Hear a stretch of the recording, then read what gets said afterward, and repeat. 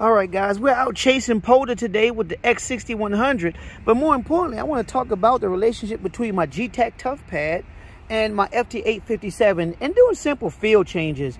Um, a lot of people like to program from the front screen, but you know what? I like to do that, but if I'm in a new city or a new town, I like to use software because the software is a lot faster. I'm sending data to the radio. Let's see what we got. It's that simple. A few pushes of the button.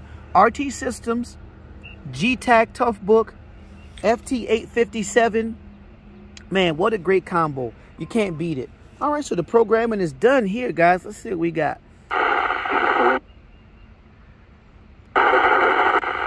Variable at 6 miles an hour. Okay, got a little more weather. It was mostly sunny. But also, I have Georgia Tech and a few repeaters in my local area by name. That is awesome. Toughbook, FT857, field changes, RT systems. Let's go.